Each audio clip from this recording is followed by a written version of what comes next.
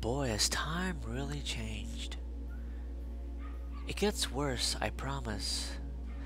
These days, we devote so much time to technology.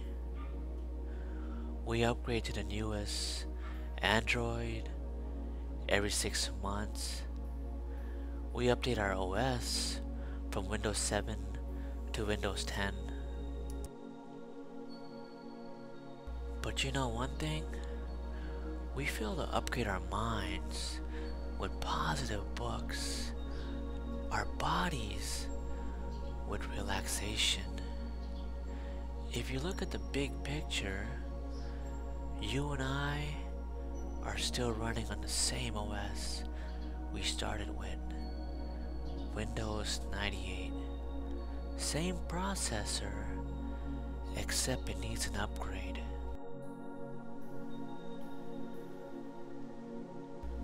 Take a look at the word busy. You got a minute? If you remove the B and the Y, you're left with the word us. Now, how about taking care of us? Our mind, our body, our soul.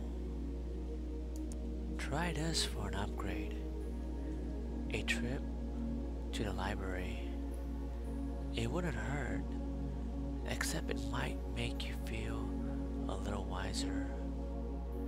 A class on first aid wouldn't hurt, but it might make you feel like a survivor.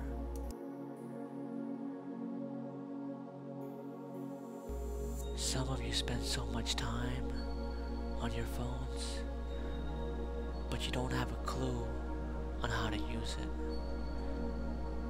You don't even look at the manual anymore. Some of you just keep saying, I just don't have time for anybody anymore. I'm a doctor. I got lives to save. I'm an engineer. I got cities to be built. And then there are those who have lost all hope and start saying, I just don't have time to practice my fate anymore. If Arjun can remember Lord Krishna in the battlefield, your excuses will only hold so long. The only difference between you and successful people is that they use their time wisely. Oprah Winfrey, Warren Buffett, Ted Turner, what do they have that you don't have?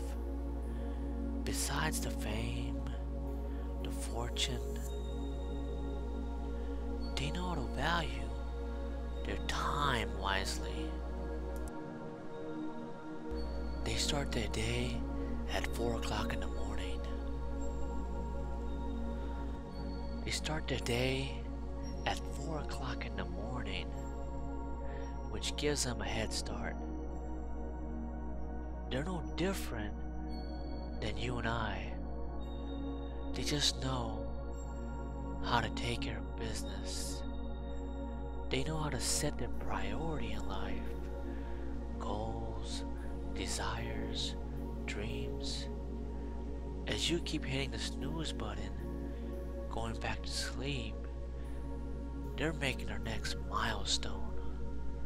History in the making, baby.